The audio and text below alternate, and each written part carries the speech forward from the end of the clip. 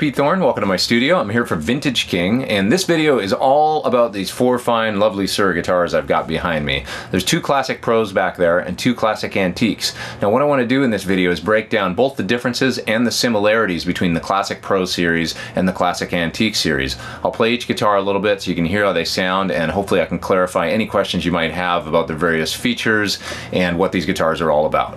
I want to talk about some of the similarities between the classic pros and classic antiques, uh, namely the necks. All these guitars feature Suhr's even C medium neck profile. It's super comfortable, not too big, not too small, fits in the hand just right, and I find I get used to it very quickly. Uh, all the guitars also have rolled fretboard edges, and that'll give you a real broken in feel right out of the gate. They've all got compound radius fingerboards, uh, which means they start at a 9 inch radius down low and finish up at a 12 inch radius at the top of the neck, actually flattening out. That'll give you a real nice easy chording down low and as you move up the neck you can keep the action real low and you don't get any uh, fretting out or anything like that on high string bends. Just very comfortable. They've all got medium stainless steel frets. Stainless steel frets will give you real nice silky smooth bends, just very playable and also super long fret life before you need to worry about fret dressing. Uh, they're all set up on the revolutionary Plek machine before leaving the Suhr factory as well. The Plek just gives incredible setups uh, with uh, unrivaled playability. The Classic Pro and Classic Antique models all share some other consistent features. Among them are staggered locking tuners. In the case of the T guitars, Wilkinson 3 saddle bridges, and in the case of the S guitars, Gotoh 510 dual knife edge tremolo bridges with bent saddles. Tusq nuts, and also the Suhr SSC2 noise canceling system for the pickups. There's two main differences between the Classic Pro series and Classic Antique series guitars. Number one, the finish, and number two, the pickups that are available. Let's talk about the finish first. The finish on the Pro Series guitars is a thin skin urethane style finish. It's really durable. On the necks, it's a satin urethane type finish. It's untinted and it provides a nice natural wood feel while providing excellent protection against moisture. The finish on the classic antique models on both the neck and body is a true nitrocellulose lacquer finish. The guitars have been carefully aged so as to appear like instruments that have been well cared for but played a lot over the years. Now, of course, nitro will continue to do its thing over the lifespan of the guitar, which is to say, they'll continue to age and evolve. And nitro guitars are really for the player that doesn't mind a few scratches and nicks and dings. I myself think it's really cool.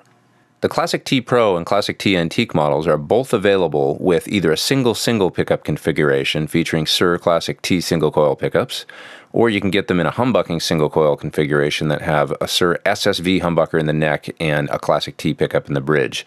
Both of the T style guitars I have here today feature the SSV humbucker in the neck and the Classic T pickup in the bridge.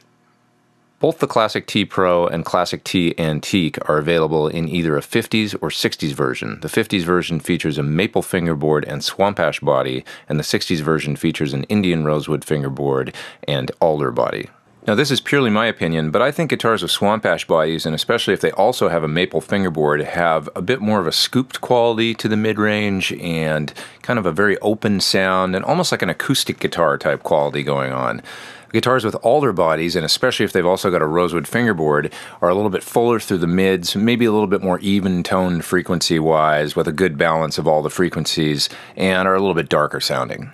So let's check out the difference between the 50 style T with swamp ash and maple fingerboard and the 60 style T with an alder body and a rosewood fingerboard.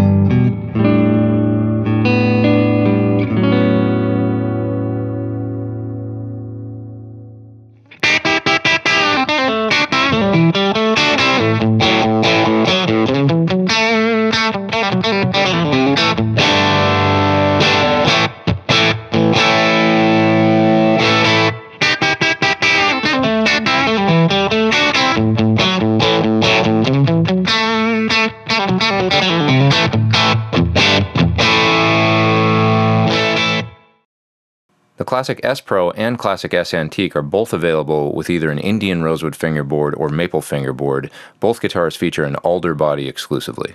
Both the Classic S Pro and Classic S Antique models are available in either a single single single pickup configuration or a hum single single pickup configuration. Now, this is where the Pro model differs a bit from the Antique model once again.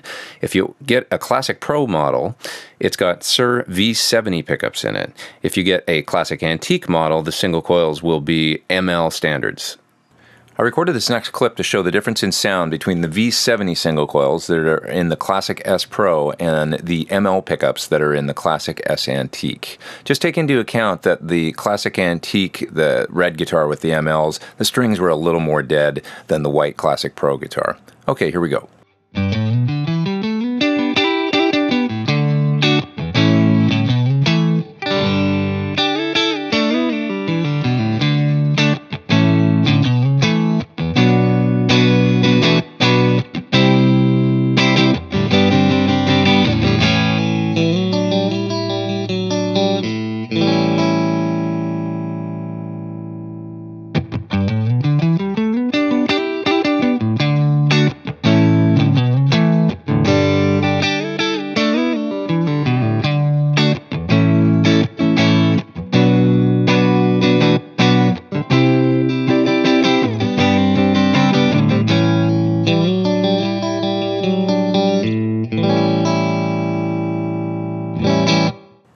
Classic S guitars that feature a hum single single pickup configuration will all coil tap in position 4. So you'll get the bridge humbucker tapped to a single coil and the middle position single coil together. And that position just sounds great and has lots of cluck. Let's check out that sound.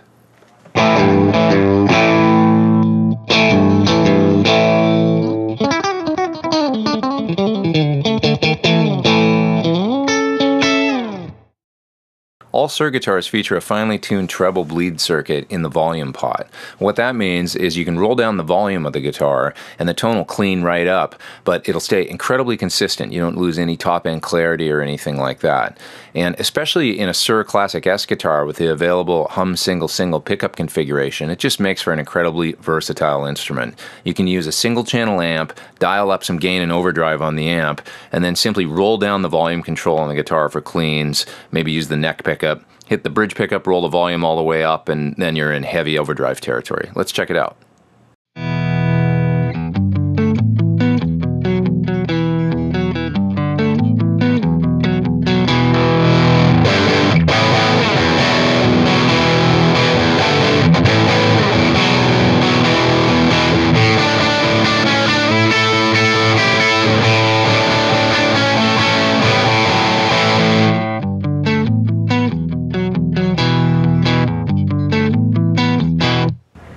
Thanks for watching my video on the Suhr Classic Pro and Classic Antique series guitars. All four of these fine instruments are available through Vintage King. They lent them to me to make this video. I was real careful with them, I promise.